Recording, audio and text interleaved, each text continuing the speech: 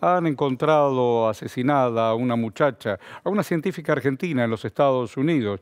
Es una científica. Eh, todo ocurrió en la ciudad de Kansas. Junto a ella también encontraron el cuerpo de un hombre de nacionalidad chilena.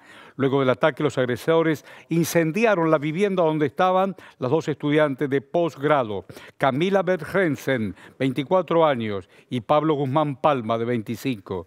Están investigando los homicidios.